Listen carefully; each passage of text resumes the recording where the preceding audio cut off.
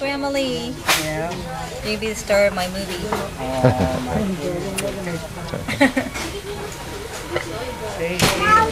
So, wh- what was she like when she was a little girl, Grandma Lee?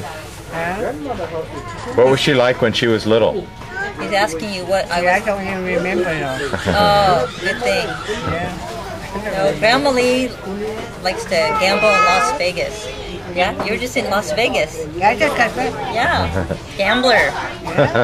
I just got back. I go there for fun. Grandma I should go with you. Huh? I could go to Las Vegas with you. Good, We could gamble together. Good. Yeah, Yeah. rip the night up.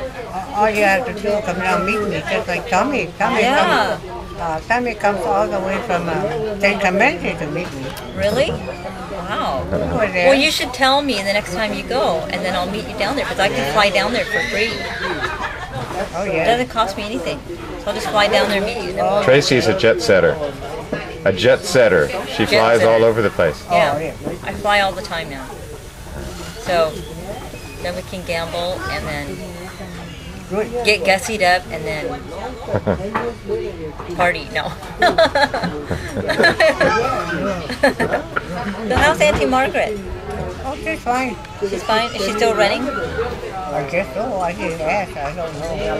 Oh, I don't think so. Not you don't see her that much? You still remember she runs very good memory. Yeah. So, How's, how's Uncle Tommy? oh, he's okay. He's okay. I was with him um, last week. Oh, His wow, birthday. really? He Wow. made 60 years old.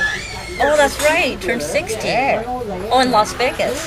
Yeah. Yeah, he drove all the way down Wow. from uh, San Clemente. Wow. That's Bob's younger brother. Well, we, we, Yeah. why don't you take some of him? Huh? Hey.